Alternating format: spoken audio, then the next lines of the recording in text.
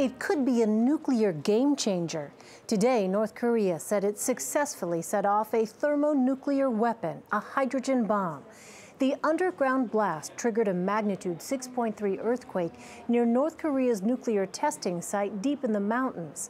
The physics of hydrogen bombs, or H-bombs, make them far more destructive than the atomic weapons North Korea is believed to have tested in the past.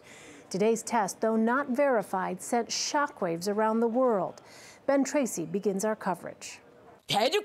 State television said North Korea carried out what it called a perfect test of a hydrogen bomb.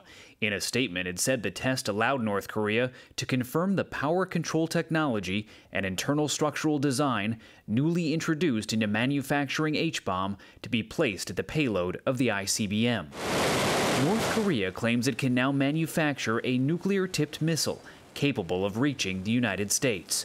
On Sunday, the regime released these pictures of Kim Jong un inspecting what North Korea says is a miniaturized hydrogen bomb to be placed on an intercontinental ballistic missile. The nuclear test comes just days after the North fired a missile directly over Japan.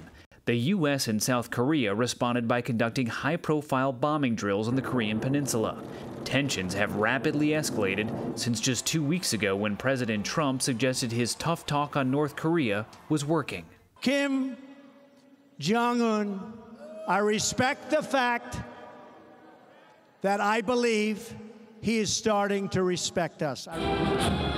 North Korea has been warning about a sixth nuclear test since April, and Kim Jong un has significantly accelerated the pace of North Korea's weapons development, despite international sanctions designed to cripple his regime. Kim Jong un has now launched more missiles just this year than his father did during his entire 17 years in power. And the bomb they just tested is believed to be far more powerful than the ones dropped on Hiroshima and Nagasaki here in Japan at the end of World War II. Elaine?